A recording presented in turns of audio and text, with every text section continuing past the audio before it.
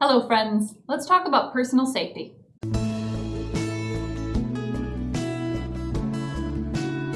But first, let's talk about priorities. It's easy to fall into this dichotomous thinking during an escalated situation where safety is a trade off. If you prioritize your safety, then you are sacrificing the safety of your team or of the escalated person. And there are situations where this is the case, but those are primarily cases where the situation has escalated to such a degree that physical intervention becomes necessary to preserve someone's safety. As always, de escalation is about shaping the situation in order to shape behavior, not the other way around. So we want to create circumstances that improve the safety of everyone involved. If I'm prioritizing safety because I don't have backup available to me, or because my escalated person has had physically violent outbursts, or because I'm not confident in my read of their behavior for whatever reason, then I might need to sacrifice some genuinely good de escalation tools like sympathetic touch. But this doesn't mean that I'm automatically going to be doing this de escalation from a bulletproof booth with a megaphone, you know? These qualities aren't binary, they're a series of sliding scales. So I might keep more distance than I usually would, or I might keep my language a bit more formal to put more psychological distance between us and try to create an authority relationship. But because de escalation is very, very personal, I'm going to create the minimum distance necessary to preserve my safety, because the more my safety meter goes up, the lower my empathetic listening meter goes until the situation changes. I bring this up because the more escalated a situation gets, the harder and harder it gets to see those nuances in a situation. It's important to be proactively considering the gray areas to keep your options open and help prevent yourself from escalating. So, there's two kinds of personal safety that we're concerned about in an escalated situation. First of all, physical safety. Starting with the most obvious thing, spacing. In general, the more escalated a person is, the more distance you want because this will give you time and options if things escalate to physical violence. However, this is not true for all the driving emotions that feed escalation. I should talk more about that sometime. As things escalate, in general, we do want to be further away from the escalated person, but we do this knowing that we are limiting our ability to be empathetic. So we have to weigh how likely we think this person is to become physically violent against how successful we think verbal intervention is going to be. If I'm de escalating someone that I've known for a long time and I know that they don't generally physically lash out in anger, then I might be comfortable staying close to them so that I can use sympathetic touch and keep a level of conversational intimacy by keeping my voice low and even to put a ceiling on how escalated they can get while keeping their generally reasonable presentation. But if this is someone who has a history of physically lashing out when they're escalated, like if I know that they uh, throw things or punch walls or invade my personal space or get really pointy and pushy, then it's less likely that I'm going to remain physically safe if I stay close. I might instead become a target, a focus for that escalation, and that's not great. So this is a balancing act that requires practice to be good at, and a good debrief can help you improve there. So let's make things more complicated. Why not? Posture is the topic of next week's video, so uh, for now I'm going to mention it, I'm going to give some bullet points, and then I'm going to blow past it. A good de escalation posture is about remaining non threatening. Remember that someone who's escalated or escalating is losing their ability to think and behave rationally, and they're losing it fast. So we need to make sure that our posture isn't going to be read by the lizard brain as aggressive or threatening. This means that we keep our shoulders and hips slightly tilted away from square and keep our hands in front of us and we keep them as open and broad as possible. We maintain conversational eye contact, which means we meet their eyes uh, about two thirds of the time. Facial expressions stay neutral to slightly sad or concerned, but not too much because we don't want to be pitying. Our feet stay planted, weight evenly distributed both between the feet and between the front and the back of the foot. This will give us a visual air of solidity that will help a lot with our rapport. Shoulders stay down, neck slightly forward, head tilted down into one side, biceps relaxed, core relaxed, knees slightly bent. Was that a lot? Yes. Does it matter? Yes, I ain't here to waste your time. The goal is to communicate interest, empathetic concern, and very importantly, inexorability. We aren't starting a fight, but we won't be moved either. Moving on, and if you have any questions or want anything clarified or expanded upon, hit me up in the comments. Now, why do we care about inexorability? Well, that's because it's an expert segue into maintaining our mental safety. One of the hazards of de escalating, especially of de escalating someone you know well or with whom you sincerely empathize, which ideally is everyone, but you know, uh, and ain't nobody perfect, is that we tend to drift away from our goals and towards theirs without realizing it. Usually, we do want to share the same goal with the escalated person, but we want to knowingly be on their side rather than having been manipulated to be there.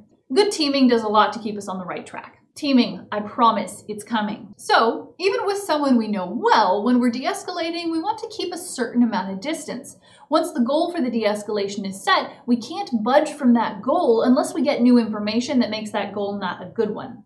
So again, there's this balancing act where we want to have solid goals for the de-escalation and they need to be achievable. Our knowledge of what is reasonably achievable might change and we need to be receptive to that but we can't allow ourselves to be manipulated into moving to a non-productive goal. I've mentioned before how a willingness to de-escalate can be taken advantage of by bad actors if we're not careful, and empathy is such an important part of de-escalation and also easy to manipulate by someone with the inclination. When we're in a de-escalation conversation with someone we don't know or don't know very well, then it's almost certainly a good idea to set a goal and stick to it no matter what. This is in large part because the escalations that uh, we're likely to experience with a stranger are likely to be relatively shallow.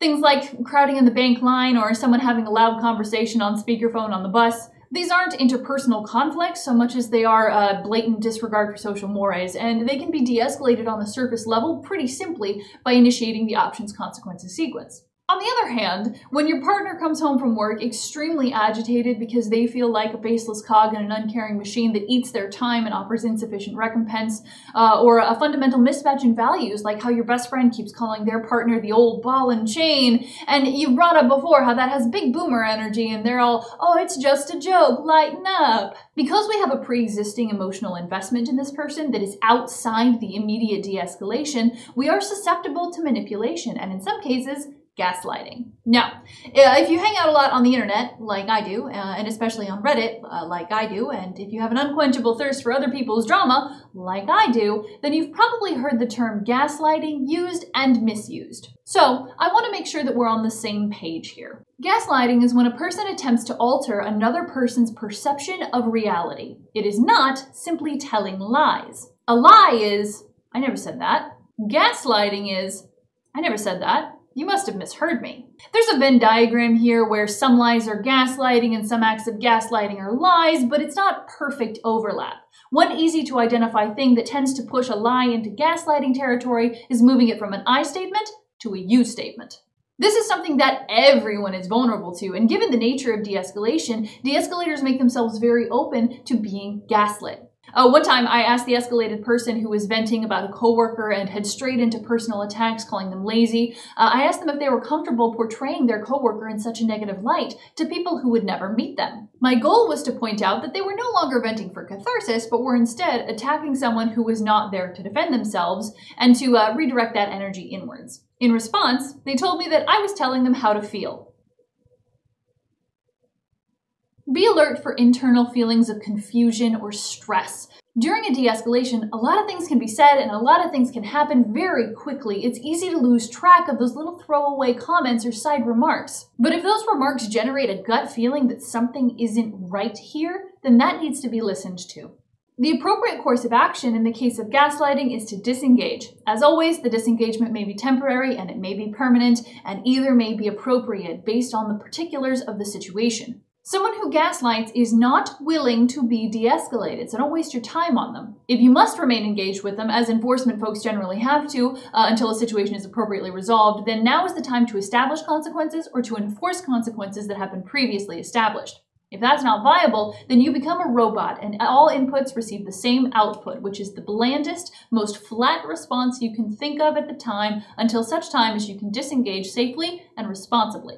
Since you can't de-escalate, the next best thing to do is to make sure that things won't continue to escalate. Emotional involvement is always escalation, and if you are escalating, then you cannot be a good de-escalator, and disengagement is the right call. Keep careful tabs on your emotional state, use a personal debrief to get a clearer look at what happened and the effects that the de-escalation had on you, and keep that in mind going forward. Part of keeping yourself safe is making sure that you are as resilient as possible to the genuine emotional hardships that de escalation can bring. Make sure that you have someone or several someones to, to vent to if you need it. Make sure that you can take time for yourself to decompress. Don't be afraid to reach out to someone else who's familiar with de escalation, if only to confirm that you didn't do anything wrong, or perhaps to get some ideas about what to do better. De escalation is a team sport, and sometimes your team needs to support you.